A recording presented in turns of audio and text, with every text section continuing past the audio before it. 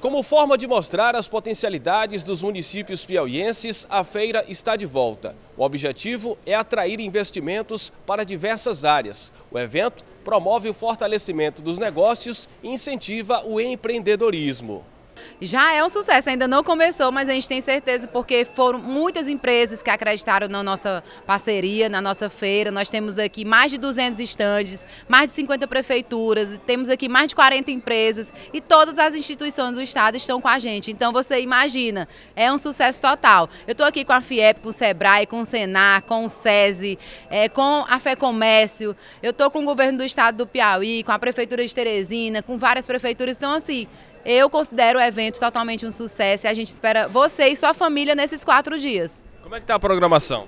Programação cultural, artística, a gente tem aqui de 5 horas até uma hora da manhã, é totalmente gratuita para você sua família, para você vir conhecer. Tem vontade de conhecer aí Luiz Correia, o que Luiz Correia tem de melhor? Não pode ir na praia agora? Então vem, vem traga sua família, a gente você compra aqui os produtinhos mais baratos. Também a gente também tem palestras, viu? Palestras de empreendedorismo, de licitação, tudo você encontra aqui de forma gratuita.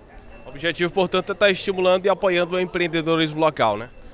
Fazendo o comércio girar. Nós estamos aqui com essa feira movimentando o mercado local totalmente, porque assim, hoje a gente liga, não encontra mais nem fornecedor por conta que está tudo lotado por causa da feira. Então assim, a economia está girando, está todo mundo feliz, porque tem cultura no estado, né? A gente vive num estado que tem poucas opções de lazer e aí você tem essa opção nesse, nesse final de semana para poder vir com sua família.